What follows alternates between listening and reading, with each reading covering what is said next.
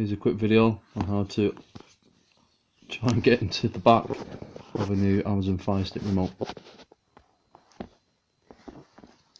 Uh, looking at the instructions, whatever they are, it says, where is it?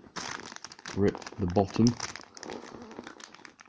the bottom of the remote and slide it forward, which is nigh on effing impossible. So apparently what you can do is you can ram this into something soft, try not to damage the front, and by jabbing it down you can then create a gap at the top. There we go. this is gonna break.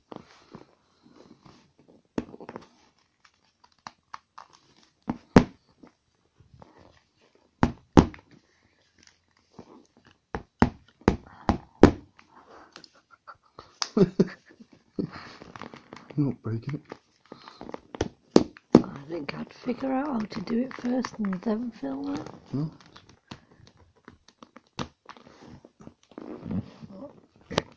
hey, there we go.